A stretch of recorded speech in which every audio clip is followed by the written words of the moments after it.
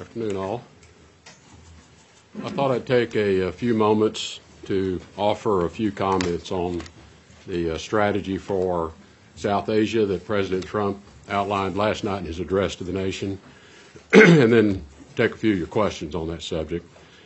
I think uh, the president did a, I think, fairly thorough job in terms of describing the new military approach, and I think the important point in that is a conditions-based approach as opposed to a time-based approach that had specified troop ceiling levels and timetables. And I think the president's been quite clear that what is will be different this time is he has empowered our military commanders on the ground to make more timely decisions, to conduct battlefield operations based upon the conditions on the ground with the battle plans that uh, Sec- Secretary of Defense Mattis will be uh, approving.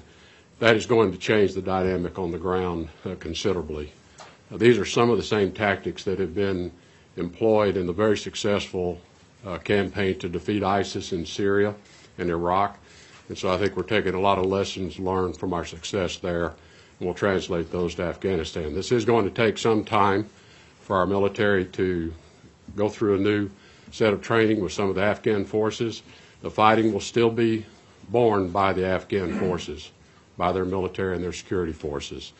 But we believe that we can turn the tide of what has been a losing battle over the last uh, year and a half or so and at least stabilize the situation and hopefully start seeing some battlefield victories on the part of the Afghan forces who have fought very bravely, but they've been fighting, I think, with less than uh, full capabilities that we can give them.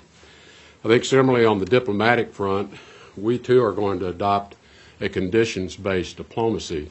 We're going to condition our efforts along with the progress we see being made by the Afghan government, who must continue the reform efforts that we've been working on for some time, in particular, uh, much more rigorous efforts around the anti-corruption. Now, part of the corruption challenge in some respects has been uh, the methods and ways in which we have been delivering some of our aid.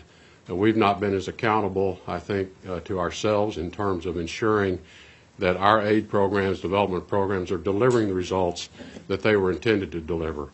Some of that has been challenged by the security environment. It's very difficult for many of our aid workers to operate in Afghanistan.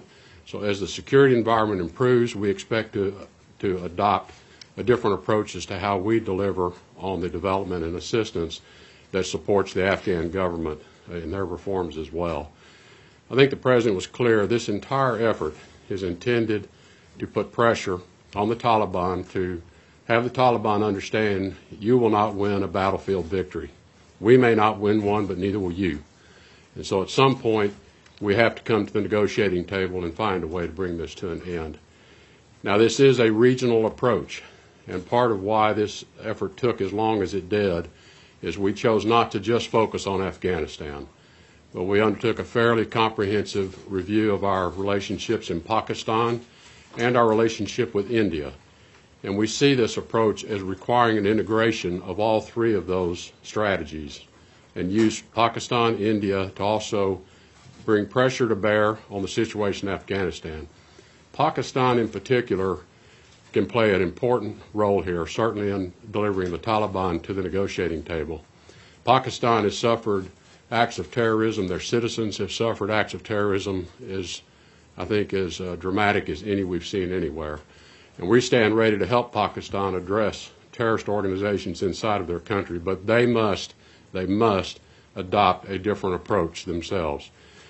Pakistan and the U.S. historically had very good relationships. But over the last few years, there's been a real erosion in the confidence between our two governments.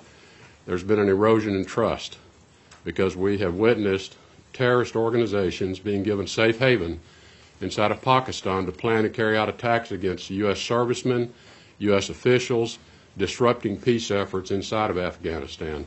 Pakistan must adopt a different approach, and we are ready to work with them to help them protect themselves against these terrorist organizations, but certainly to begin to end their attacks that are disrupting our efforts at peace.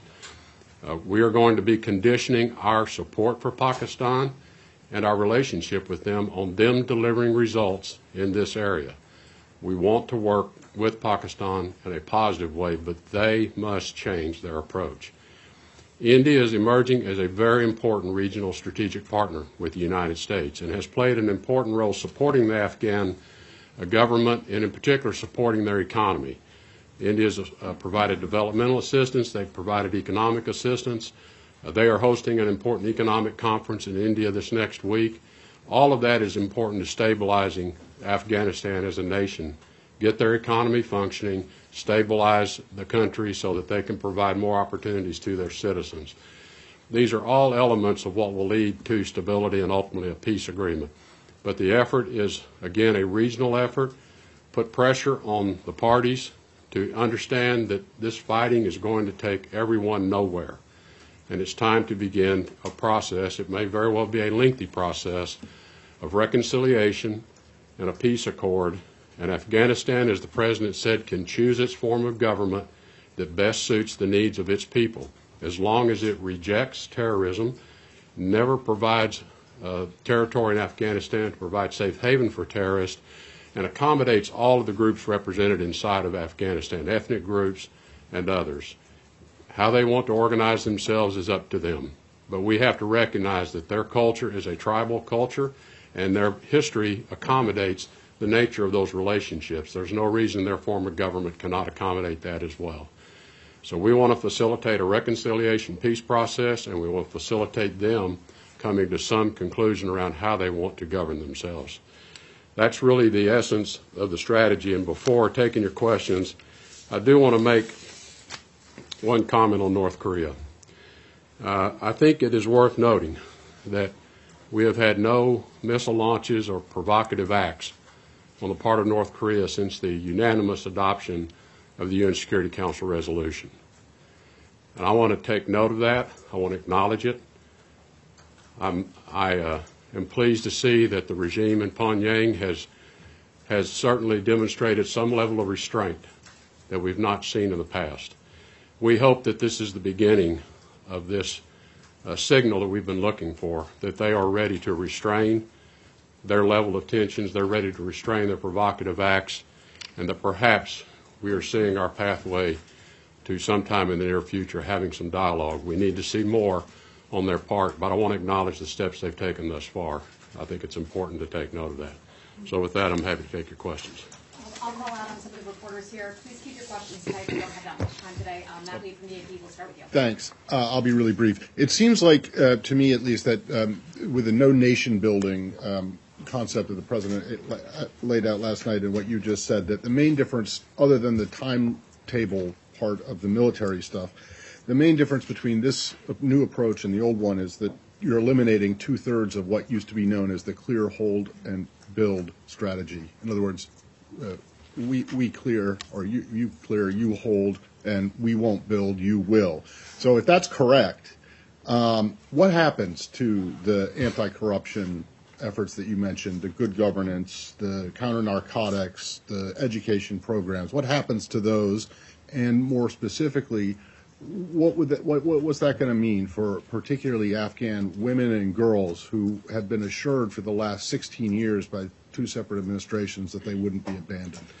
Well, I don't want to suggest that there's that dramatic a difference in terms of our expectations for Afghan government performance. And as you point out, there's been enormous strides achieved in Afghanistan, both in terms of uh, the numbers of millions of, of children that are now in schools being educated, uh, the role of women in the Afghan economy now has been dramatically changed.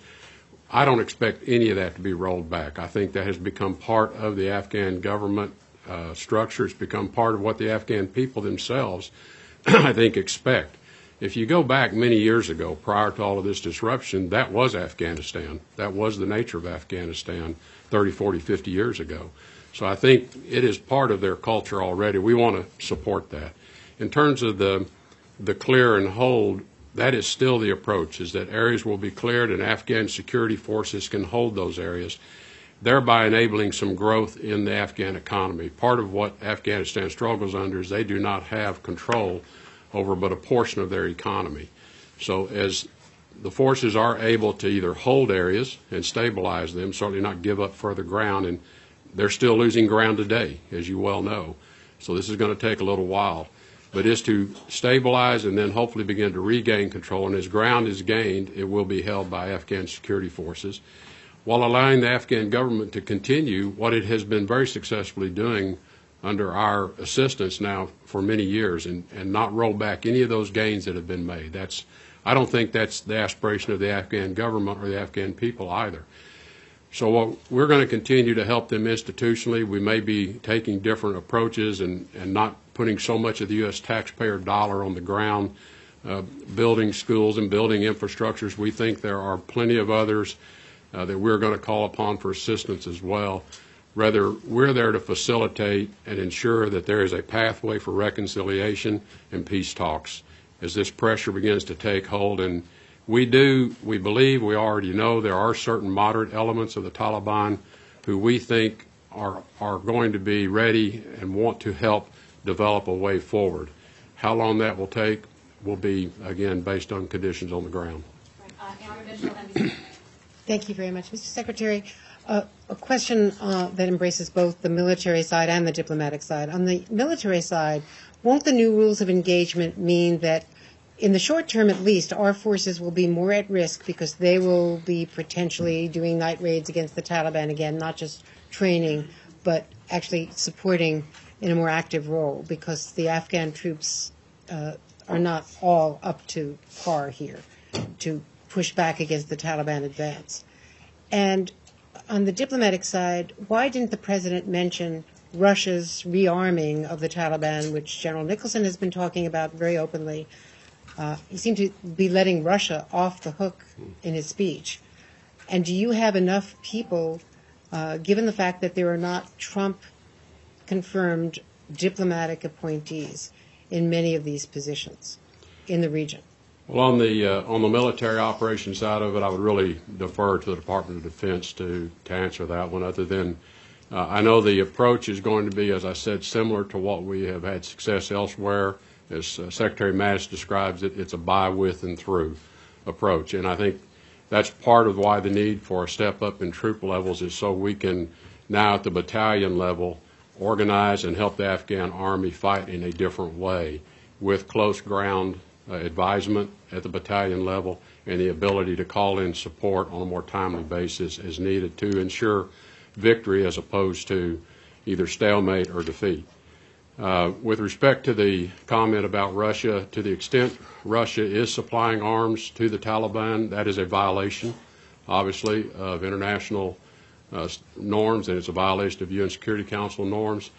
Uh, we certainly would object to that and call Russia's attention to that. If anyone's going to supply arms, it needs to be through the Afghan government. Uh, in terms of our footprint on the ground, we have very competent, capable, experienced people there now. Our Afghan ambassador is remaining on the job at this time. We have a Pakistan ambassador that's been nominated. We hope to have that person cleared through the process soon. And even in the transition in Afghanistan, as Ambassador Hale transitions out, uh, we've nominated Ambassador Bass, very experienced diplomat, been uh, chief, been running the embassy in Ankara, Turkey, very complex place. He's very well equipped to step into this situation as well. And we are looking at a couple of different people for the special representative to Afghanistan Pakistan position. It's open currently. It's being filled with a very experienced individual today. So we're ready to get going with very competent people we have, and I'm not at all concerned about the competency level or the experience of the people that we have working on this. I'm quite confident with them. And India? Uh, this next question, uh, Martha Raddatz from uh, NBC, uh, ABC. Sorry, Secretary Tillerson, I know you don't want to talk about, about the military, but you were just using some military terms and battalion level and that. I, I- I know and understand why the administration does not want to talk about tactical moves, but strategy. Don't the American people deserve to know approximately how many more of their sons and daughters will be going back to Afghanistan in a war that's lasted nearly 16 years? Well, I think, and I, don't- again, I don't want to speak for Secretary Mattis, but I think the intent is there will be visibility to troop levels once the decision has been made. I think what the President has conveyed, and I agree wholeheartedly with him, is that we are not going to signal ahead what our plans are. We're not going to signal ahead an increase, a decrease, the timing of any of that. It will be driven by conditions on the ground. The only way we can defeat an enemy that is as nimble and as cagey tactically as this enemy, is we have to be as cagey and tactical as they are. And we've not been fighting that way. Could, could that include strikes in Pakistan? I'm not going to comment on what it could include, but the president's been clear that we are going to protect American troops and servicemen. We are going to attack terrorists wherever they live, and we have put people on notice that if you are harboring and providing safe haven to terrorists, be warned, be forewarned. And we're going to engage with those who are providing safe haven and ask them to change what they're doing and help us help them. Because in my view, the best, the, the, the greatest benefactor, other than the Afghan people themselves, to achieving stability and peace in Afghanistan are the people of Pakistan. They will benefit more than any other nation. Um, Margaret Brennan, CBS. Mr. Secretary, in the back here.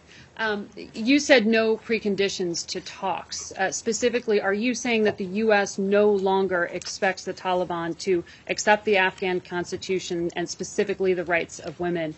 And on Pakistan, did you articulate in specific terms, or do you plan to, uh, to Pakistan the consequences of their actions, whether it be sanctions, dropping their non-NATO ally status? I mean, what exactly have you communicated or do you plan to communicate? Well, I had a good call with the Prime Minister of Pakistan yesterday afternoon to give them a, a bit of a forewarning of what they were going to hear in the President's speech. And also, we did touch on the points I've made to you today.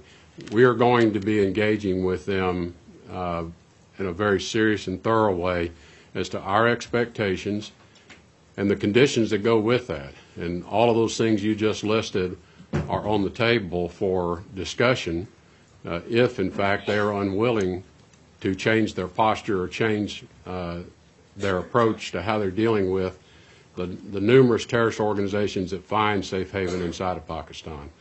Again, it is in Pakistan's interest to take those actions. When we say no preconditions on the talks, I think what we are saying is, look, the government of Afghanistan and the Taliban representatives need to sit down and sort this out. It's not for the U.S. to tell them it must be this particular model, it must be under these conditions.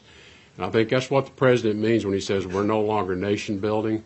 We're, look, we've tried taking certain principles and forms around the world, and sometimes it works, and a lot of places it doesn't work.